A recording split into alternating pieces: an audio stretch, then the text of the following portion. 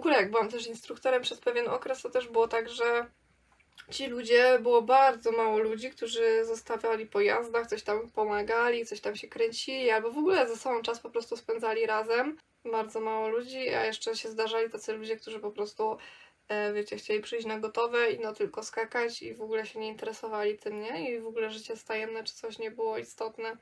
Takie gdzieś tam to przytłaczające, jak kiedyś tak naprawdę cała armia Bacharów zostawała na stajni, coś tam se robiła, nawet jak nie było można nic zrobić przy tych koniach, to wiecie, to my sobie po prostu chodziliśmy, oglądaliśmy jazdy, gadaliśmy między sobą, było tak fajnie. A teraz jak mi się wydaje, że to trochę umarło. Da się znać, czy u was w stajniach się spotykacie i, i siedzicie w stajni poza jazdami, bo ja nawet w zimę potrafiłam siedzieć i my siedzieliśmy tam, wiecie, zamarzaliśmy, ale siedzieliśmy.